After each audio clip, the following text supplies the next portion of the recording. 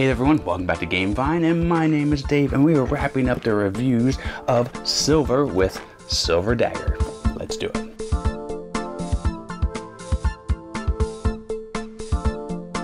As a disclaimer, this is a review copy from Bezier Games. Thank you so much for providing us with a review copy. I'm digging on Silver. If you've seen our other reviews, I like this game. I do recommend it, but this is the final um, expansion. Now, the last one I reviewed was Coin. I liked some of it, but it wasn't a, a must-have in my opinion. So the dagger is going to be scrutinized to see if we need it because we have a whole bunch of powers and cards to choose from. What sets this apart from all the other ones other than the beautiful color and the beautiful art? I really think this is the best and I'm going to be keeping all the cards in this box because it's super cool. So it's winning on that front, but let me show you the production and um, what the cards do. Again, I'm not going to show you how to play. If you want to figure that out, that's in the Silver Amulet video. I'm just going to show you how this varies up the game. Let's go.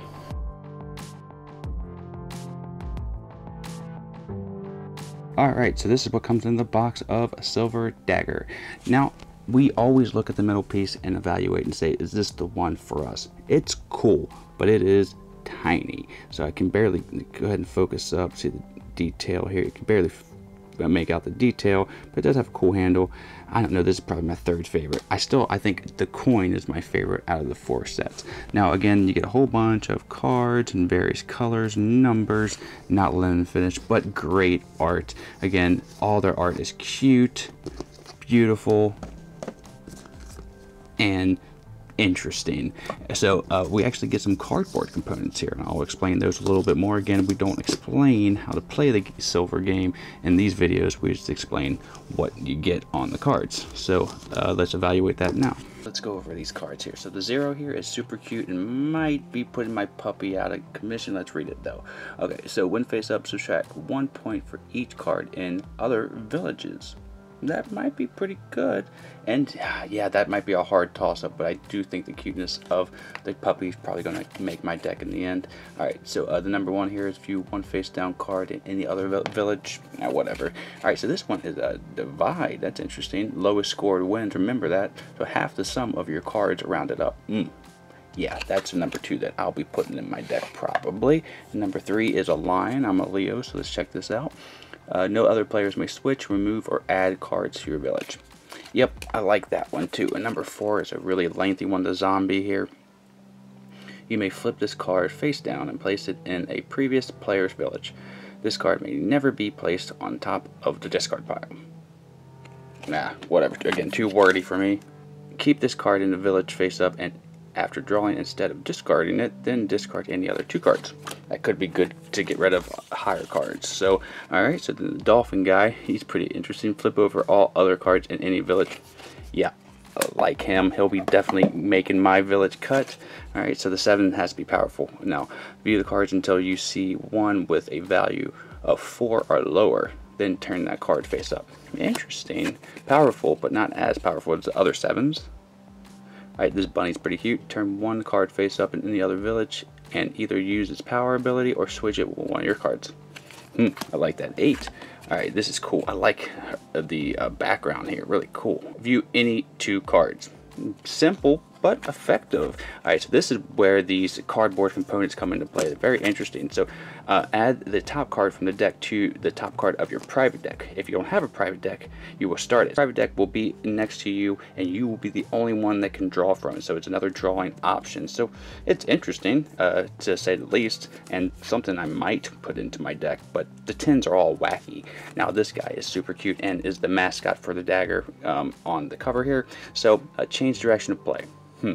Again, simple, but effective. I might use him. All right, this guy looks like uh, the Doctor Who, um, the one I think the latest male one. All right, so this one, view one face down card in any village and switch it for one card in any other village. I don't know, it's kind of uh, lame, but uh, it, the 12s really aren't my favorite. Okay, so this guy's pretty cool. Looks like he comes from where the wild things are. All right, at the scoring, if the sum 50, score 0 for your cards, and all other players add 50. Wow, that's crazy. Just for a furry. I don't know if I would use him, but that just, uh, it's interesting just to have. That's like outlandish. Okay, so those are all the cards. Now let me tell you what I think of this set. So that's Silver Dagger. I like it. This is my third favorite. It's beating the coin series. Again, ultimately, I like the coin metal bit over all of the other ones. But that's the only thing that I think this one wins out. So this is my uh, third favorite. It goes Bullet, Base Game, Dagger, and then Coin. There are definitely some cool powers and different things that I haven't seen in any of the silver sets yet. And I'm definitely cool that uh, I I absolutely love this box, so I'm going to be keeping all my cards because you can choose which one you want to do that in and have my ultimate deck in this one right here but not really a set that I think you absolutely need, though it would be a good one if you want to add just to the base set. Um, again, I think Bullet would be the first one to get to if you want to get an expansion, but this would be the next one in my opinion. A good set, I recommend it. If you like a lot of these powers or if you're into the silver set, you can't go wrong with this one right here. So thank you so much again for providing us with this review copy and thank you so much Vine Nation for tuning in to this review. I will have one more video video on the series of Silver showing my ultimate deck. And other than that, we'll be wrapping up there. So if you haven't already, click like and subscribe. And until the next time that I see you, have a great rest of your day and a great time with all that you play. I'm out, everybody. Bye.